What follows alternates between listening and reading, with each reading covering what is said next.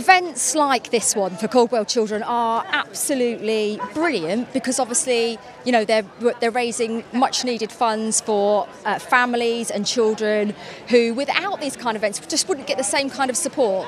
And also, it kind of gets it highlights what's happening and you know where the needs are. So that's why I'm always very happy to support the Caudwell Children. Do you think it's surprising that there is such a gap in need between um, what obviously families and, and people do need and what the NHS and the government is currently able to give them? There's a huge gap in the need, and I think you know obviously because there's a you know there's a finite source of, of cash and there, there it seems like there are more and more needs coming up and we are just sort of seeing this kind of split. So a lot of families and a lot of children wouldn't get the support without the help of organisations like this. So yeah it's really vital. When you see and hear the amazing stories, the impact that this organisation's made on families' lives, are you good at keeping it together or are there going to be some more to work?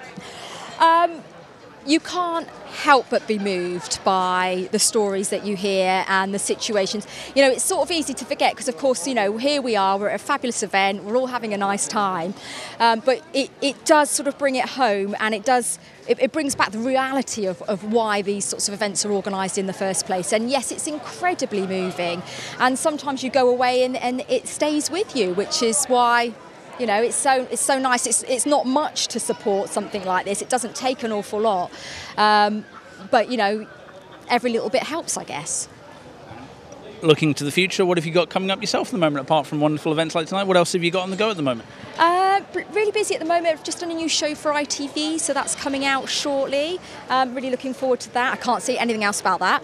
Um, and yeah, I'm training as a psychotherapist, so that's um, been been wonderful. I'm, I'm um, four years in, another two to go. Uh, yeah, so just keeping very busy and raising three teenagers.